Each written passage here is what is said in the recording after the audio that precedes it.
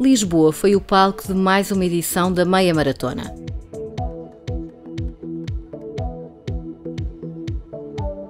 Para o presidente da Câmara Municipal de Lisboa, que marcou presença na mini maratona, o importante é mesmo participar.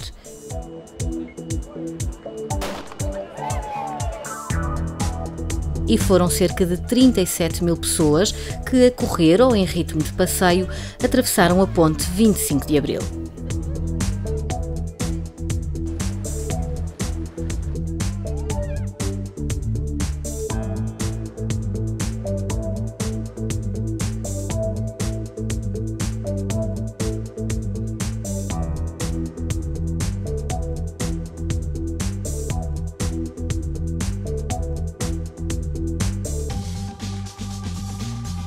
Para a história desta meia maratona fica um novo recorde do mundo.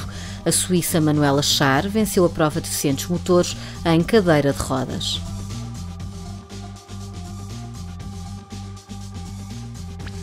As provas masculina e feminina foram ambas ganhas por atletas da Etiópia. Os primeiros portugueses a cortar a meta foram Hermano Ferreira, no 17º lugar, e Ana Dulce Félix, décima classificada nas mulheres.